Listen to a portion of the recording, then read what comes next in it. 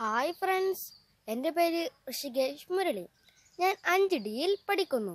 G H S S Naduvannur ശാസ്ത്രമേളയോടനുബന്ധിച്ച് ഒരു എക്സ്പെരിമെന്റാണ് ഞാൻ ചെയ്യുന്നത്.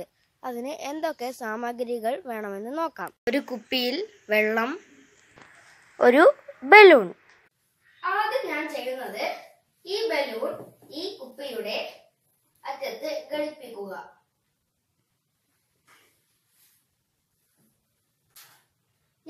ഞാൻ എന്നിട്ട് ഈ ബലൂൺ നേരെ പിടിക്കുക. അതിശയം. ഇതാ ബലൂൺ വീർക്കുന്നു. എന്തുകൊണ്ടെന്നാൽ ഞാൻ ഈ ബലൂണിനുള്ളിൽ ബേക്കിംഗ് സോഡ ഇട്ടിരുന്നു.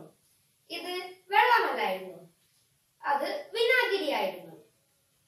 ഈ ബേക്കിംഗ് സോഡ വിനാഗിരിയിലേക്ക് വിൽക്കുമ്പോൾ കാർബൺ ഡയോക്സൈഡ് ഉണ്ടാകുന്നു. അതെന്തുകൊണ്ടാണെന്നാൽ ബേക്കിംഗ് സോഡ സോഡിയം ബൈകാർബണേറ്റ് ആണ്. വിനാഗിരി നേർപ്പിച്ച അസറ്റിക് ആസിഡും ഇവ രണ്ടും കൂടി ചേരുമ്പോൾ കാർബൺ ഡയോക്സൈഡ് ഉണ്ടാകുന്നു ഈ വാതകമാണ് ബലൂണിനുള്ളിൽ വന്നു ചേരുന്നത്